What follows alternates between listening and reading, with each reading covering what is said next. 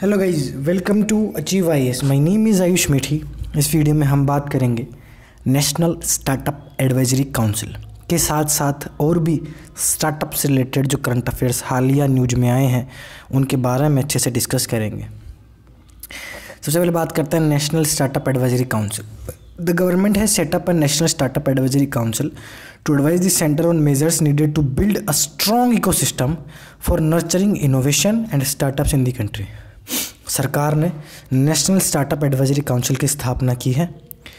ये केंद्र सरकार को एडवाइस देगा एक स्ट्रॉन्ग इकोसिस्टम बनाने के लिए, ताकि इनोवेशन और स्टार्टअप्स को प्रमोट और नर्चर उनको किया जा सके भारत देश में। It is needs to be noted India ranks 136 on the parameters starting a business in World Bank ease of doing business table against an overall rank of 63 आपको पता है हमारी वर्ल्ड बैंक की ईज ऑफ़ डूइंग बिज़नेस हाई overall rank हमारी 63 आई लेकिन इसके ना वर्ल्ड बैंक की ease of doing business index में कुछ पैरामीटर्स होते हैं। उन पैरामीटर्स की भी अलग से इंडेक्स निकलती है। तो हमारी स्टार्टिंग बिज़नेस के मामले में तो 136 रैंक आई है। तो एक तरफ़ से ईज ऑफ़ डूइंग बिज़नेस हमारे लिए सही नहीं है। जो रैंक आई ना हमारी 63 लगेगा कि अच्छी है, लेकिन अंदर जब हम झाँक के देखेंगे तो स्टार्टिंग में पैरा बिज़नेस जो कि एक एक इनिशियल चीज़ होती है बिज़नेस शुरू करने से पहले, वो चीज़ उस मामले में हम बुरे हैं। इसलिए नेशनल स्टार्टअप एडवाइजरी काउंसिल स्थापित की गई। इसकी कंपोजिशन यूपीसी फिल्म्स के ऑब्जेक्टिव से काफ़ी इंपॉर्टेंट है। तो एक बार पढ़ लेते हैं। चेयरमैन होंगे minister for commerce and industry convener होंगे काउंसिल के joint secretary department for promotion of industry internal trade ex official members होंगे, जो कि मिनिस्ट्रीज इसमें जुड़ी हुई होंगी डिपार्टमेंट जो जुड़े हुए होंगे, उनके नॉमिनीज़ वहाँ से जो ऑफिशियल से चुने जाएँगे, जो कि जॉइंट सेक्रेटरी की रैंक के नीचे नहीं होंगे जॉइंट सेक्रेटरी की रैंक के ऊपर होंगे और कुछ नॉन ऑफिशियल मेंबर्स होंगे, जिनको केंद्र सरकार नॉमिनेट करेगी।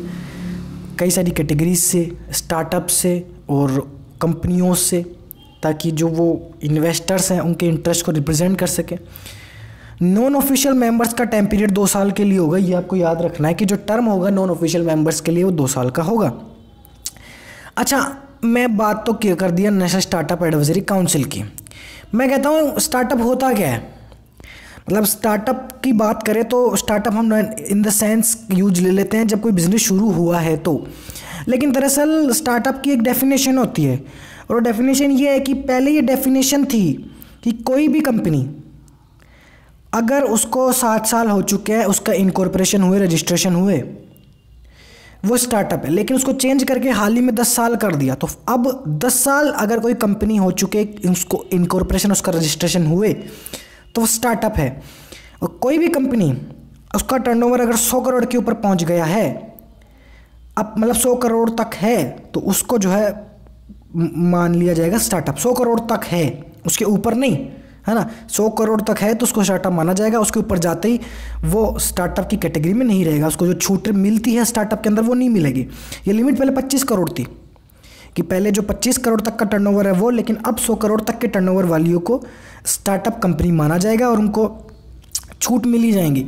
लेकिन यहाँ पे स्टार्टअप से रिलेटेड भी कुछ दिक्कतें होती हैं कि आप स्टार्टअप जो है वो बिल्डिंग और लैंड में इन्वेस्ट नहीं कर सकता।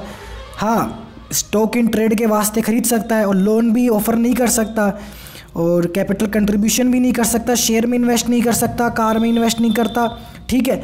जो कि दस लाख से ज़्यादा की होती हो, जो मोड ऑफ़ ट्रांसपोर्ट है, जो कार है व्हीकल है, वो दस लाख से ज़्यादा हो तो वो उसमें इन्वेस्ट नहीं कर सकता, उसमें कैपिटल कंट्रीब्यूशन नहीं कर सकता। तो कई सारी चीज़ें हैं जो कि स्टार्टअप को यहाँ पे एग्जामेशन मिले हुए होते हैं। लेकिन स्टार्टअप की डेफिनेशन आपको याद रखनी है, दस साल हो गए रजिस्ट्रेशन हुए और सौ करोड़ का टर्नओवर के नीचे हो, तब इसको जो है स्टार्टअप माना जाएगा up to a turnover hundred crore. Function क्या क्या है इसके?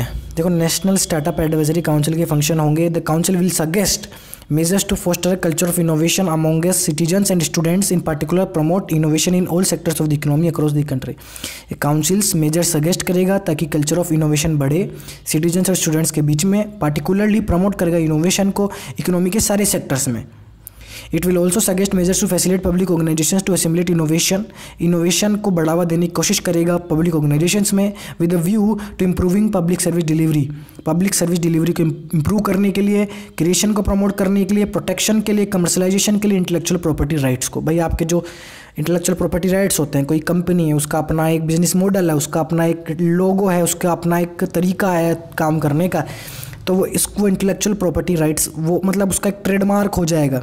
ठीक है, उसका कोई म्यूजिशियन है, कुछ इनोवेटिव गाने बना रहा है या फिर कोई ऐसी चीज़ निकल के आ रही है तो उसका कॉपीराइट हो जाएगा। तो इंटेलेक्चुअल जो प्रॉपर्टी राइट्स होते हैं, आपने इन चीज़ों के बारे में पढ़ा होगा, उनको भी प्रोटेक्शन करने की बात इसमें की गई है। Further it will suggest measure to make it easier to start operate grow exit कोई भी बिज़नेस आप ढंग से स्टार्ट कर सको, उसको ऑपरेट कर सको, उसको आगे बढ़ा सको और ज़रूरत पड़ने पर उसको बंद कर सको। इन चीज़ों में बहुत दिक्कतें आती हैं। काफ़ी सारे रेगुलेटरी इश्यूज़ झेलने पड़ते हैं कंपनी वालों को।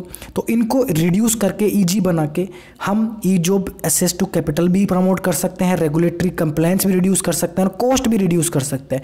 क्योंकि इन चीज़ों के लिए स्टार्ट करने के लिए बहुत ज़्यादा टाइम लग जाता है, बहुत ज़्यादा डॉक्यूमेंट्स बनाने पड़ जाते हैं जगह जगह दफ्तरों के चक्कर लगाने पड़ते हैं तो इस, उससे कंपनी की कॉस्ट भी जाती है प्लस समय भी बर्बाद होता है और एक नेगेटिव जो है एटमोसफेयर भी बनता है।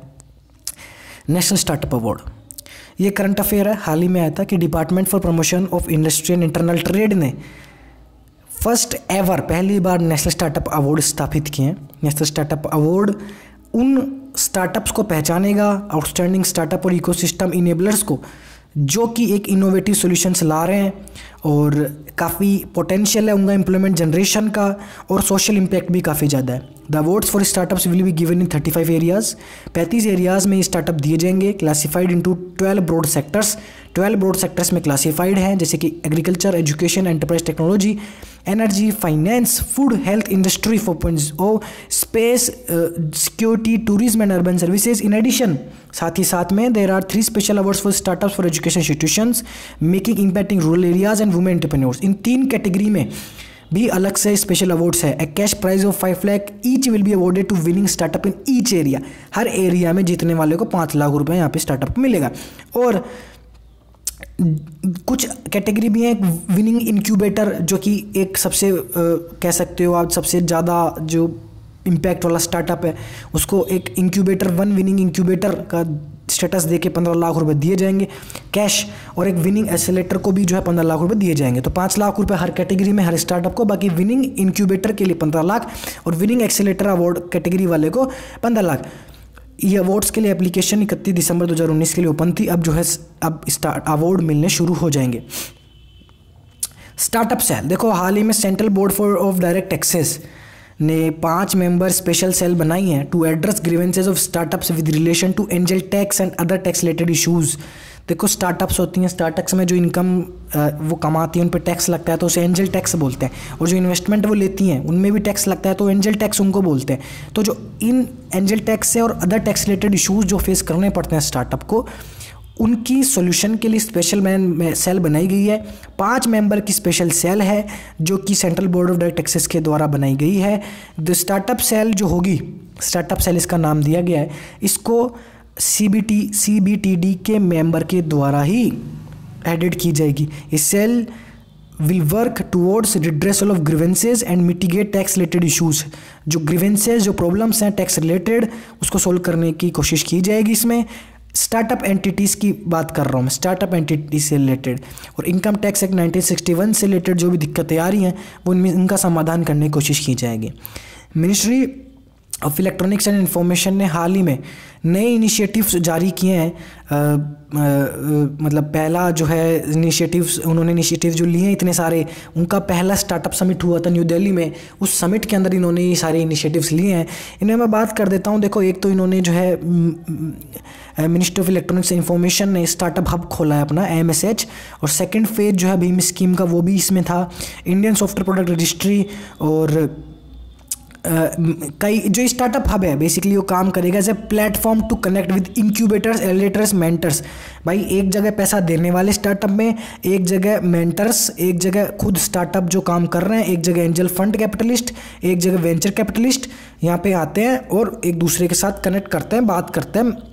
मीटी स्टार्टअप हब में, ठीक है एम एस एच में इंडियन सॉफ्टवेयर प्रोडक्ट रजिस्ट्री जो होगी, जो भी हाल ही में लॉन्च की गई समिट में, वो एक सिंगल विंडो पोर्टल होगी, जितनी भी कंपनीज़ और प्रोडक्ट्स हैं डेवलप किए जा रहे हैं उनको इंडिया में एक तरीके से एनालिटिक्स उनको देगी डाटा देगी कि किस तरीके से जो है यहाँ पे काम हो सकता है। और जो गवर्नमेंट ई मार्केट प्लेस कल मैंने वीडियो बनाई गवर्नमेंट ई मार्केट प्लेस पर जिसपे जो गवर्नमेंट डिपार्टमेंट्स हैं, जो ऑर्गेनाइजेशन हैं, जो कंपनीज़ हैं, वो खरीदारी कर सकती है फर्नीचर की बुक्स मतलब जो भी उनको चाहिए ऑफ़िस में तो इनमें भी अगर कोई स्टार्टअप सेल करना चाहता हो अपने प्रोडक्ट्स तो वो कर सकता है। तो इंडियन सॉफ्टवेयर प्रोडक्ट रजिस्ट्री एक तरीके से प्रोडक्ट रजिस्ट्री होगी कि अपने अपने प्रोडक्ट जो हैं, कंपनियाँ इस रजिस्ट्री पर लिस्ट कर सकती हैं।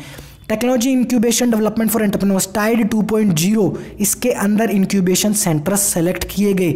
अब technology incubation development for entrepreneurs इसकी फुल फॉर्म आपको याद रखनी है। बहुत ज़रूरी है, मैं रिपीट कर देता हूँ। Technology incubation development for entrepreneurs 2.0 ये एम है इसका कि 200 टेक्नोलॉजी स्टार्टअप्स को एक जगह लाना है स्ट्रेंथन करना है, और जो टेक्नोलॉजीज़ और जो इनको इमर्ज करना है, जो टेक्नोलॉजीज़ आ रही है, उसकी फ़ायदा उठाना है। और इस तरीके से इक्यावन इंक्यूबेशन सेंटर्स एम्पावर करने की बात की गई।